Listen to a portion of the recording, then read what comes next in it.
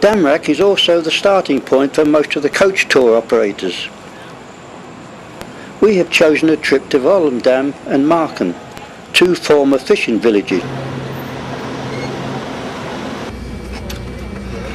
Well then, uh, ladies and gentlemen, a very good uh, afternoon and uh, welcome. Ladies and gentlemen, as far as I could check... But our first port of call is a clog making workshop. There's some more people coming in. Welcome in our wooden shoe workshop. I'll show you how to make a wooden shoe in three languages. It's too many people. Fresh wood is used. About half of the weight is water. When the wood is green, it's relatively easy to shape. The traditional way was done by hand. Take a big knife, do the outside of the shoe, then take spoon scoops, various shapes, various sizes to take out the inside. Yeah? To make a pair by hand was about two hours work. With the machines, we'll do a little shoe in five minutes. Okay?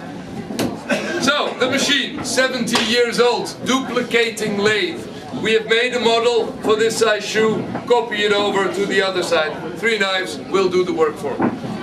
Uh,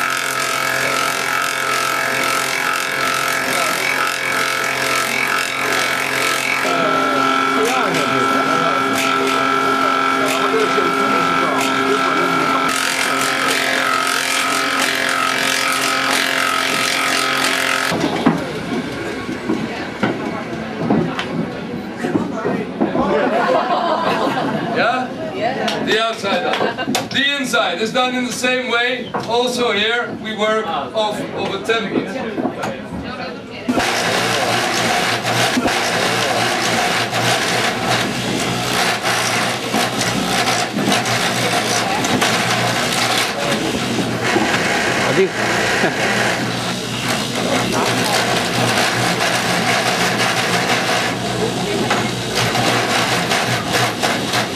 Shape of the shoe top.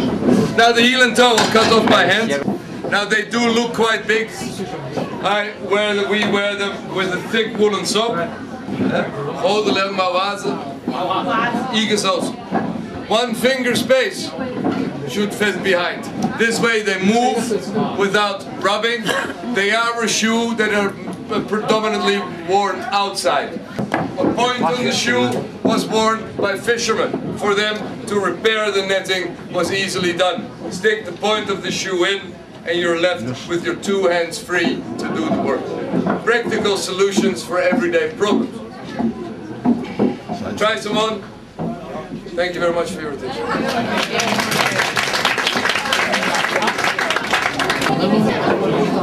Okay.